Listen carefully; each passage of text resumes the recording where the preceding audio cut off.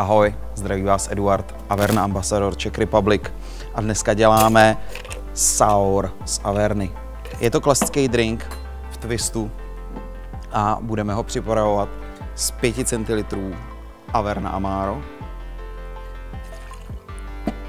Přidáme 2 centilitry čerstvý pomerančový šťávy, a tím myslím čerstvý pomerančový šťávy. Přidáme 2 centilitry čerstvý citronový šťávy,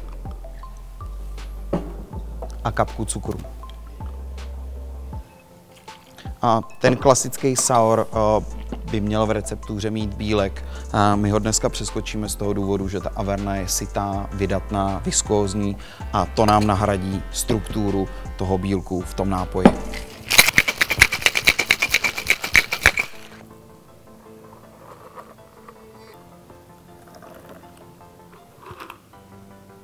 Zdobíme zástřikem citronové kůry. Ovoníme. A ještě než to dáme na tu správnou rozetku, tak protože je léto, přidáme malou kytičku.